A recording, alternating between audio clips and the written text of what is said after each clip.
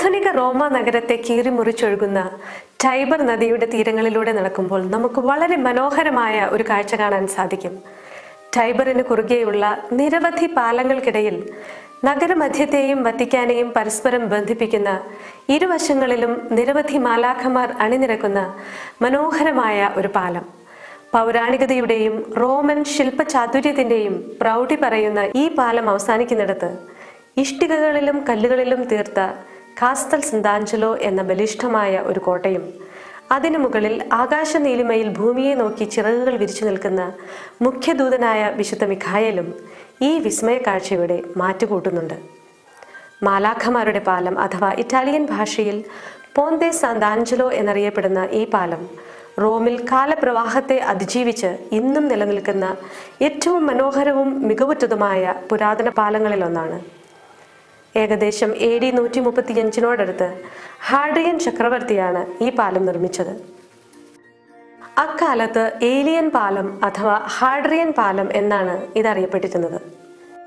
ആറാം നൂറ്റാണ്ടിന്റെ അവസാനത്തിൽ റോമ നഗരത്തിൽ പടർന്നു പിടിച്ച ഭയാനകമായ ഒരു മഹാമാരിയിൽ ആയിരക്കണക്കിന് ആളുകൾ രോഗബാധിതരാകുകയും മരിച്ചവരുടെ മൃതദേഹങ്ങൾ തെരുവുകളെ ശ്വാസം മുട്ടിക്കുകയും ചെയ്തപ്പോൾ മഹാനായ ഗ്രഗറി ഒന്നാമൻ മാർപ്പാപ്പ റോമൻ തെരുവീഥികളിലൂടെ ഒരു പരിഹാര പ്രദക്ഷിണം നയിച്ചുകൊണ്ട് ജനത്തിന്റെ ജീവൻ രക്ഷിക്കാൻ ദൈവത്തോട് പ്രാർത്ഥിച്ചു.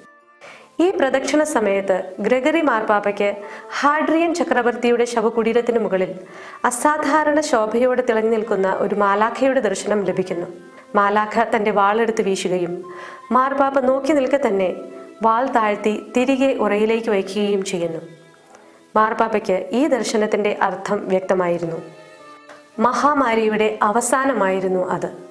അങ്ങനെ അന്നു മുതൽ ഗ്രഗറി ഒന്നാമൻ മാർപ്പാപ്പയുടെ താൽപ്പര്യപ്രകാരം കോട്ടയും പാലവും മാലാഖയെ അനുസ്മരിപ്പിക്കും വിധം യഥാക്രമം കാസ്തൽ സാന്താഞ്ചലോ എന്നും പോന്തെ സാന്താഞ്ചലോ എന്നും അറിയപ്പെടാൻ തുടങ്ങി. ഇവിടെ നമ്മെ ഏറ്റവും അധികം ആകർഷിക്കുന്നത് വെണ്ണക്കല്ലിൽ കൊത്തിയ പത്ത് മാലാഖമാരുടെ മനോഹരമായ ശില്പങ്ങളിൽ രൂപപ്പെടുത്തിയിട്ടുള്ള അതുല്യമായ കുരിശിന്റെ വഴിയാണ്. ഓരോ ശില്പവും ക്രിസ്തുവിന്റെ പീഡാനുഭവത്തിന്റെയും മരണത്തിന്റെയും ഭാഗങ്ങൾ പ്രതീകാത്മകമായി അടയാളപ്പെടുത്തുന്നു. ആയിരത്തി അറുന്നൂറ്റി അറുപത്തിയേഴിൽ ക്ലെമന്റ് ഒമ്പതാമൻ മാർപ്പാപ്പയാണ് പാലത്തിന് ഇരുവശങ്ങളുമായുള്ള ഈ ശില്പങ്ങൾ നിർമ്മിക്കാൻ നിർദ്ദേശിക്കുന്നത്.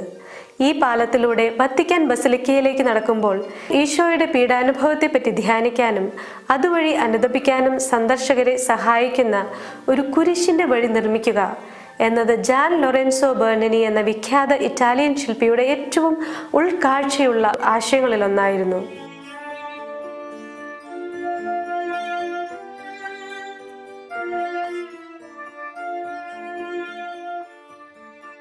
ഐ എൻ ആർ ഐ എന്ന ശീർഷകം കയ്യിലേന്തിയ മാലാഖയും മുൾക്കിരീടം പിടിച്ചിരിക്കുന്ന മാലാഖയും മാത്രമാണ് ബേർണിനിയുടെ ശില്പങ്ങൾ.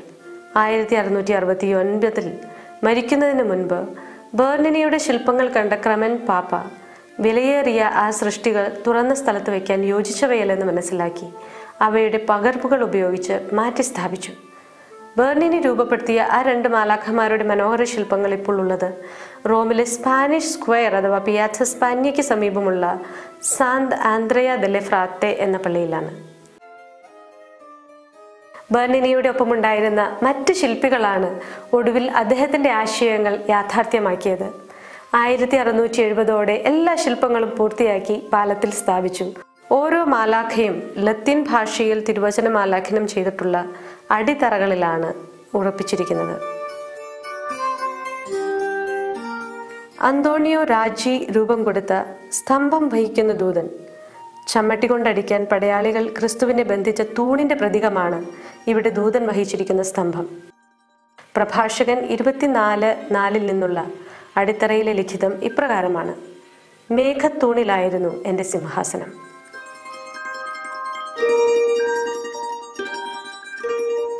ലാസാറോ മൊറേല്ലി നിർമ്മിച്ച ചമ്മട്ടി കയ്യിലേന്തിയ ദൂതൻ. തൂണിനോട് ചേർത്ത് ബന്ധിച്ച ഈശോയെ പ്രഹരിക്കുവാൻ റോമൻ പടയാളികൾ ഉപയോഗിച്ചിരുന്ന ചമ്മട്ടിയെയാണ് ഈ മാലാഖയുടെ ശില്പം ഓർമ്മിപ്പിക്കുന്നത്. അടിത്തറയിലെ ലിഖിതം സങ്കീർത്തനം മുപ്പത്തെട്ട് പതിനേഴിൽ നിന്നുള്ള ഇതാ ഞാൻ വീഴാറായിരിക്കുന്നു എന്നാണ്.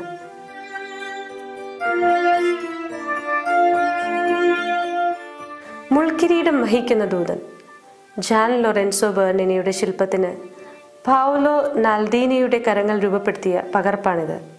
സങ്കീർത്തനം മുപ്പത്തൊന്ന് നാലിൽ നിന്നുള്ള ലിഖിതം എന്റെ മേൽ മുള്ളുകൾ പതിഞ്ഞിരിക്കുന്നു എന്നാണ്.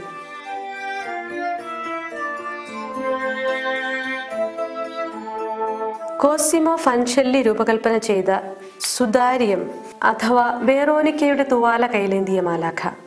സങ്കീർത്തനം എൺപത്തിനാല് ഒമ്പതിൽ നിന്നുള്ള ലിഖിതം നിന്റെ ക്രിസ്തുവിന്റെ മുഖത്തേക്ക് നോക്കുക എന്നാണ്.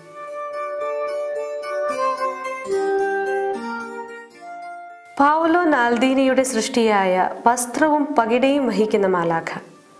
ക്രിസ്തുവിന്റെ തയ്യൽ കൂടാതെ നെയ്യപ്പെട്ട മേലങ്കിക്ക് വേണ്ടി റോമൻ പട്ടാളക്കാർ നെറുക്കിട്ട നിമിഷത്തെയാണ് ഈ ശില്പം സൂചിപ്പിക്കുന്നത്.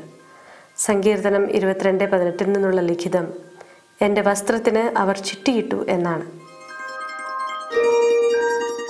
ജിറോലാമോ ലുച്ചെന്തി രൂപകൽപ്പന ചെയ്ത ആണികൾ കയ്യിലേന്തിയ മാലാഖ. ഈ മാലാഖയുടെ കൈകളിലെ ആണികൾ ക്രിസ്തുവിനെ കുരിശിൽ തറയ്ക്കുവാൻ ഉപയോഗിച്ച ആണികളുടെ പ്രതീകമാണ്.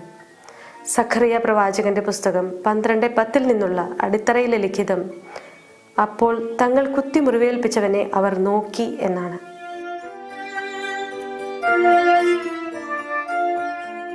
എർക്കോലെ ഫെറാത്തയുടെ കുരിശ് വഹിക്കുന്ന മാലാഖ ക്രിസ്തു ക്രൂശിക്കപ്പെട്ട കുരിശിനെയാണ് ഓർമ്മപ്പെടുത്തുന്നത്. ഏഷ്യ ഒമ്പത് ആറിൽ നിന്നുള്ള ലിഖിതം ആധിപത്യം അവന്റെ ചുമലിലായിരിക്കും എന്നാണ്. ജൂലിയോ കർത്താരി രൂപപ്പെടുത്തിയ ഐ എൻ ആർ ഐ എന്ന ശീർഷകത്തോടു കൂടിയ ഫലകം കയ്യിലേന്തിയ ദൂതൻ. ഐ എൻ ആർ ഐ എന്ന ഈ ചുരുക്കെഴുത്ത് ക്രൂശിതനായ ക്രിസ്തുവിന്റെ തലയ്ക്ക് മുകളിൽ ലത്തീൻ ഭാഷയിൽ എഴുതപ്പെട്ട യഹൂദരുടെ രാജാവായ നസ്രായൻ ഈശോ എന്ന അടയാളവാക്യത്തെ പ്രതിനിധീകരിക്കുന്നു. അടിത്തറയിൽ സങ്കീർത്തനങ്ങൾ തൊണ്ണൂറ്റിയാറ് പത്ത്. കർത്താവ് ജനതകളെ ഭരിക്കും എന്ന് എഴുതിയിരിക്കുന്നു.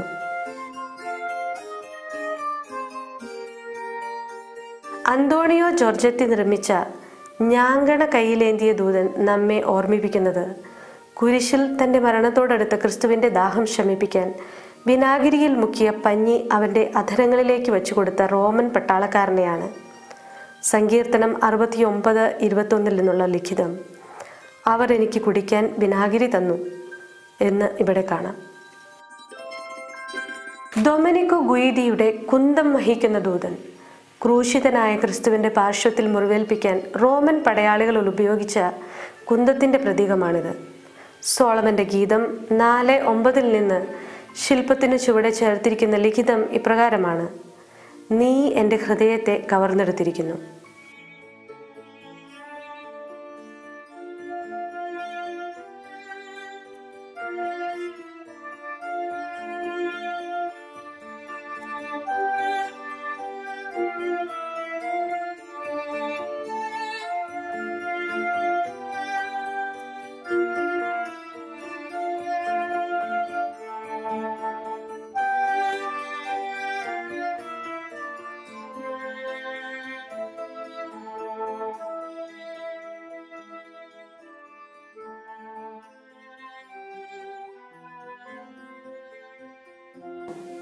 കുരിശിന്റെ വഴിയിലൂടെ ഒരു തീർത്ഥയാത്ര നടത്താനും ക്രിസ്തുവിന്റെ പീഠാനുഭവങ്ങളുടെ ചരിത്ര നിമിഷങ്ങളെ ഓർത്ത് ധ്യാനിക്കാനും ഈ കലാസൃഷ്ടികൾ നമ്മെ ക്ഷണിക്കുന്നു.